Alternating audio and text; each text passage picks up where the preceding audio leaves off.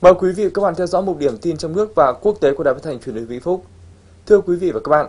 sáng ngày 23 tháng 1, Đại hội đại biểu toàn quốc lần thứ 12 của Đảng làm việc tại hội trường tiếp tục thảo luận về các văn kiện trình đại hội.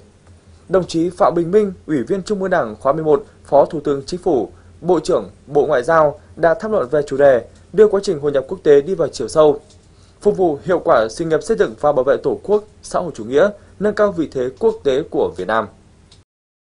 Phó Thủ tướng Phạm Bình Minh nêu rõ 5 năm qua, trong bối cảnh tình hình khu vực, thế giới có nhiều biến động rất phức tạp, khó lường, tác động tới an ninh và phát triển của đất nước.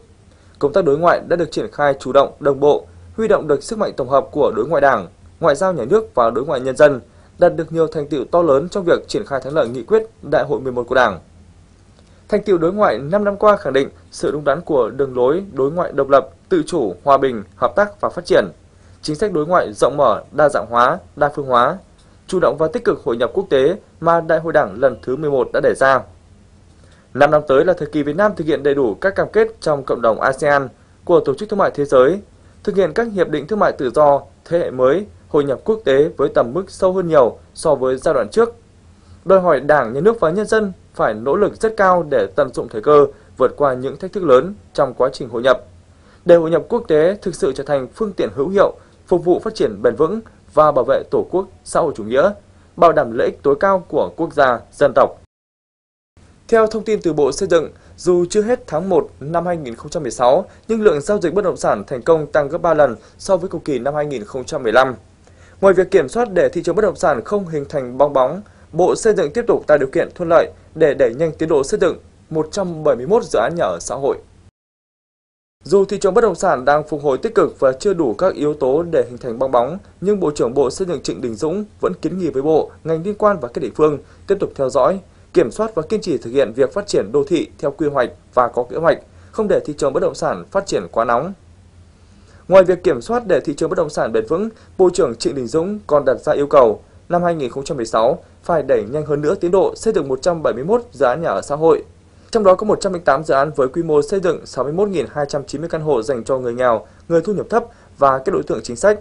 63 dự án nhà ở cho công nhân, quy mô xây dựng khoảng 69.300 căn hộ.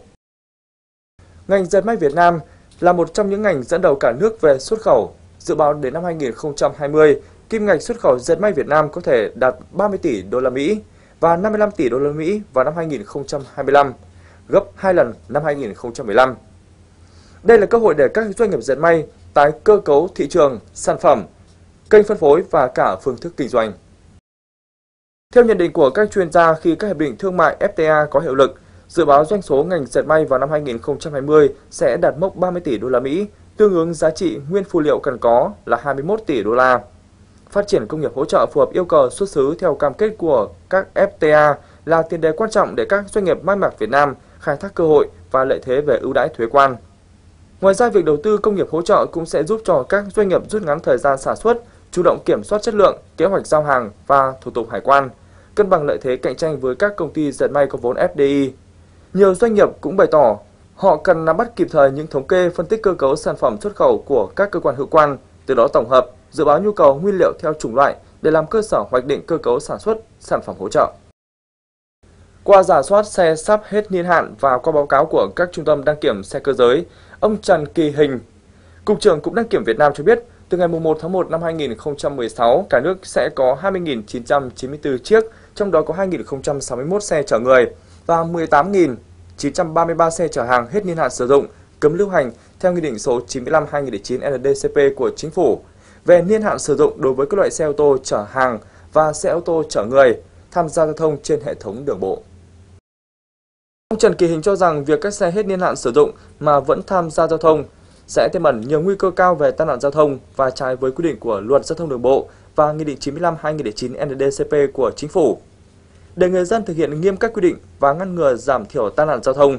Cục Đăng kiểm đã yêu cầu các trung tâm đăng kiểm xe cơ giới trên cả nước cung cấp số liệu cho Phòng Cảnh sát Giao thông, Sở Giao thông Vận tải, Thanh tra Giao thông các tỉnh, thành phố,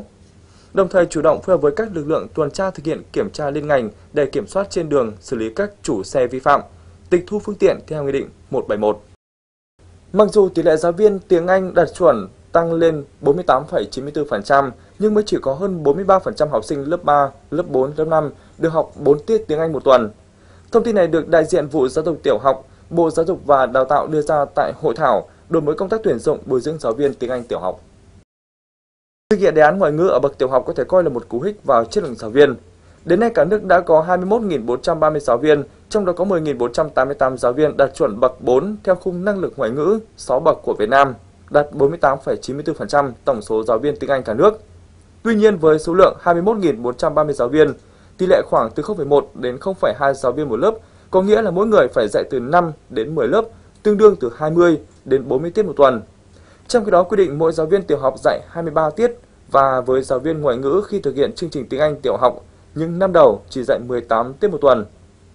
Như vậy, để đủ số lượng giáo viên cho việc thực hiện dạy 4 tiết một tuần vào năm học 2018, theo định hướng của chương trình giáo dục phổ thông mới và lộ trình của đề án ngoại ngữ 2020. Tiểu học sẽ cần thêm nhiều giáo viên tiếng Anh nữa, đặc biệt ở các vùng khó khăn.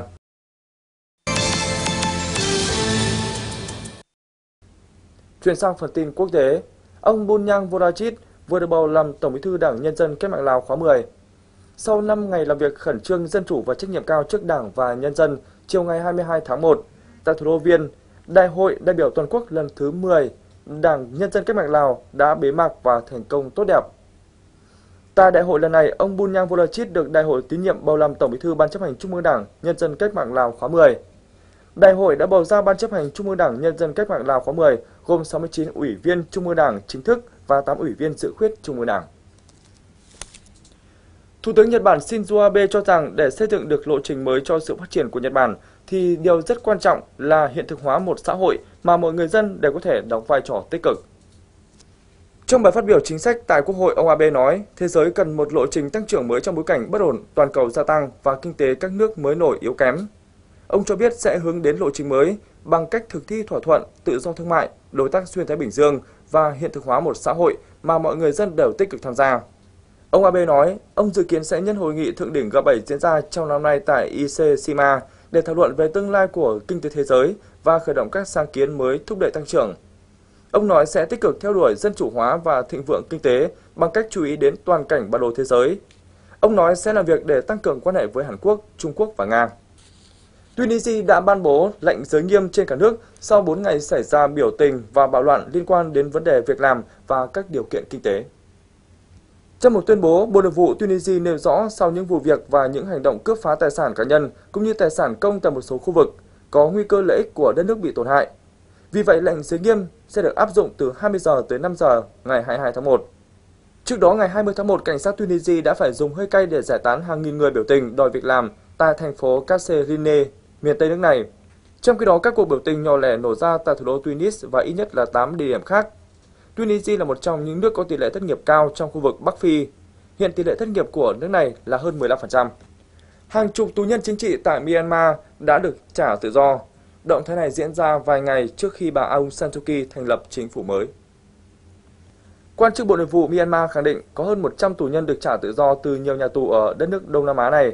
Một quan chức cấp cao trong phủ Tổng thống của Myanmar cho biết, lần trả tự do này nhằm đánh dấu Hội nghị Phật giáo vì hòa bình khai mạc tại Myanmar ngày 22 tháng 1.